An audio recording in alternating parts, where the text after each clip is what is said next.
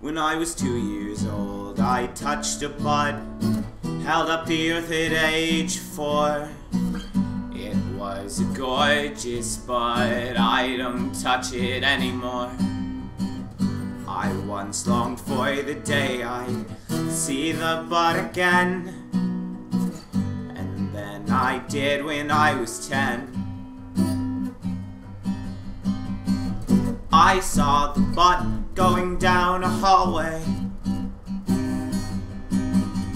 Wrapped in a pair of yoga pants.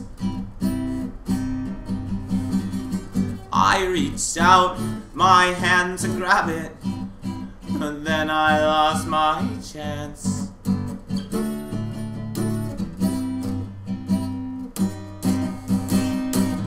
The butt had faded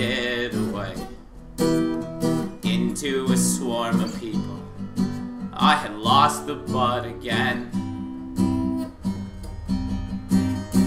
So I swore on that day that by age 25 I would have my bud revenge. Da, da, da, da, da, da, da.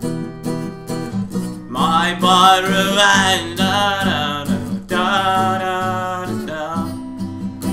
Have my bud revenge. At 23, I saw the bud at work.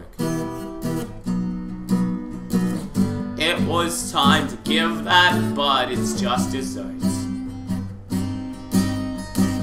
I reached into my pocket, pulled out my knife, and stabbed it in the thigh.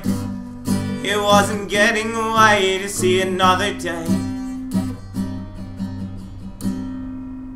For every bud must die. Ba ba ba ba ba da da. Every bud must die. Ba ba ba ba da da. Every bud must die.